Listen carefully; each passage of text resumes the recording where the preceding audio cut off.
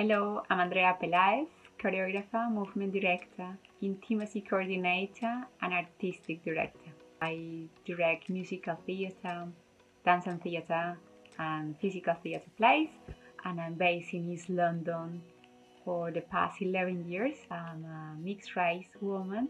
As Latin Americans, I've got indigenous roots, African roots, and European roots and my career has has been about finding those roots within me.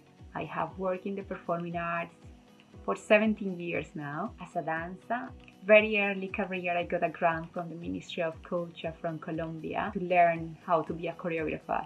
I work with dancers, actors, musicians, audiovisual artists, artists in general, I recently got a grant from the Arts Council of England called Developing Your Creative Practice. It's a grant that invests in your career as practitioner and that has been an amazing support because that has been allowing me to invest in my career as a filmmaker. So I've been screening in amazing festivals around the world and we have won awards, uh, musical videos I filmed with pop stars is very very important for me to create dance for the screen and as well to invest in new technologies. The dance connected with artificial intelligence with virtual reality and different techniques for immersive experiences with dance. I love working as a collective as a team. I'm one of the pack.